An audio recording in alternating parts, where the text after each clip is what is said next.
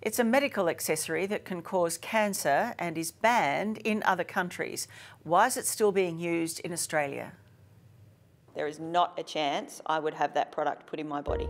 Living in fear and in the dark. I just think, what, what's in there? These Australian women are desperate for the same answers. And my first thing that I said, am I going to die? Anne Marie Sagewood had a cosmetic breast enhancement after having her fifth child. She hoped for a confidence boost, but had no idea it could lead to cancer. I was really shocked. All the worst case scenarios going through uh, my head. You know, I've got five beautiful children, I've got a beautiful partner. Uh, what are some of the outcomes of this? And I don't think anyone can prepare themselves for that sort of news. So the only warning sign was swelling in one breast. It almost feels like I have a really bad flu in my breast. Uh, the fluid is there and I feel really uncomfortable. Anne Marie is one of at least 90 Australian women who've been diagnosed with implant related anaplastic large cell lymphoma. The cancer develops when bacteria gets trapped in the grooves of the implant's surface, leading to infection, which triggers the immune system. What is it that makes you most nervous? I think it's the fact that um, it's not just cosmetic surgery anymore, it's reconstruction and it's a lot more invasive. Now, in a race against time. Hello, how are you? Please have a seat. Anne Marie has asked Dr. Anand Deva to remove the implants. And we also need to wait. We've got a lot of work to do in terms of, firstly, clearing her of the tumour, but more importantly, then analysing the tissues, checking the pathology. Since the current affair first exposed this link to lymphoma, the Therapeutic Goods Administration has launched a review into whether highly textured implants need to be taken off the market here in Australia, as they have already in Canada, France and the Netherlands. In Australia, we've had three deaths. Um, and around the world, 16 deaths.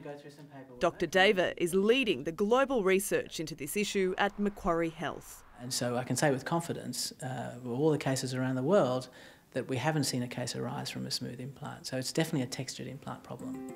There are four grades of implants on the market. Grade 1 is smooth, the second, slightly textured.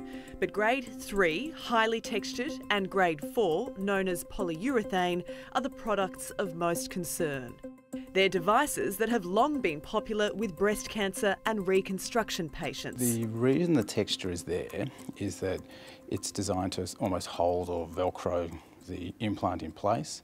So when someone's had an operation for breast cancer, there's often quite a large space and you want to position that implant and you want that position to, you want that implant to hold its position.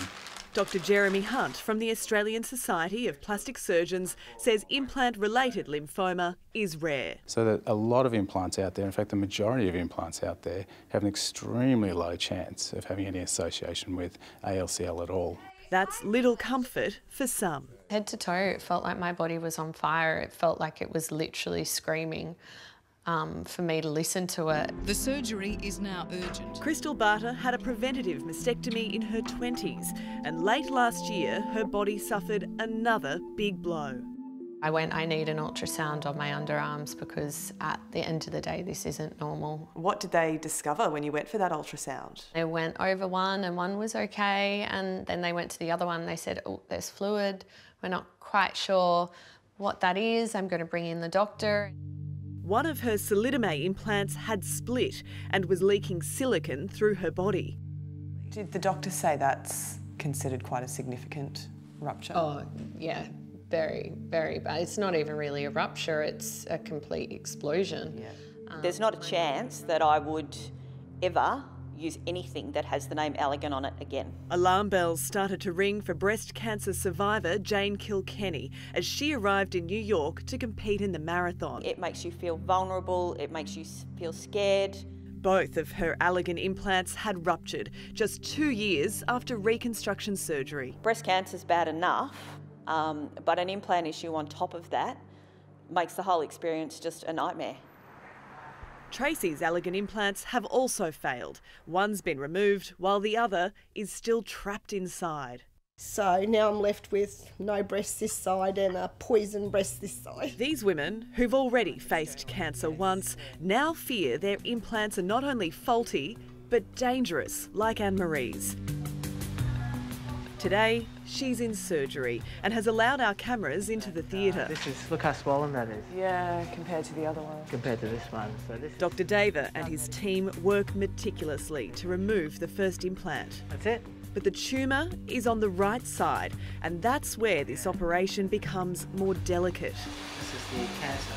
The process begins by draining out the fluid and cancer cells from the swollen breast. Then the implant is removed and the tumour below the muscle is taken out. Procedures like this are becoming more common as the number of breast implant related ALCL cases rises by 50% every year. Anne Marie's case is quite a complex one, and there is no guarantee that every patient will be given the all clear once the implants have been removed. In some women where the, the diagnosis is missed or the cancer has come out of the gates and has spread, then they will need chemotherapy. After a few hours, the surgery has gone well, but Anne Marie faces a painful recovery. My hope is that without the high grade textured implant, the risk of uh, the tumour recurring will be zero. The TGA is expected to deliver its ruling on textured implants in coming days. I would like the TGA to take this implant off the market. I'm still, I guess, living in fear. As the founder of breast cancer awareness charity Pink Hope, Crystal says concerns are growing over these devices. I have women calling me up every day saying, I have these implants, what do I do? The advice from Dr. Deva if you notice any swelling or change to the implant, see your surgeon immediately. I mean, this is a very personal issue to be talking about. Why have you chosen to share your story? Why have you chosen to speak about it publicly? Just if I can get that awareness of do your research, ask the questions for a better outcome, that's worth me putting myself forward. We'll update you when the TGA's made its decision. A statement from Allergan is on our website.